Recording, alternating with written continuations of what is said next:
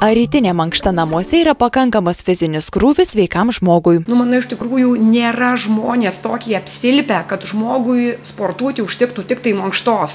Nebent čia sakau vėlgi, jeigu žmogus turi kažkokių tai širdies įdų ar kažkokių tai ten labai nugaro, kažkokių ten traumų. Čia tiesiog ta mankšta tai gal užtektų tik tai žmogui, kuris yra labai jau pensinio amžiaus ir labai išsekęs arba po didelių traumų. Manau, kiekvienam žmogui 30, 40, 50 minučių valandos laiko būtina treniruotė. O mankšta, kaip mes žinom, užtrunka 10, o jeigu namie, tai gal net ir tik 5 minutės užtruks. Tai čia tikrai neįmanoma pavadinti sportu, fiziniu įsikrovimu, išsiprakaitavimu, išsijudėjimu. Nemanau, nebent jeigu žmogus yra labai geros formos ir labai labai susibalansavęs su mytyba, su viskuo, bet ir tai nemanau, kad tai užtektų. Kalbėjo sporto trenerė Gitana Vitkauskenė.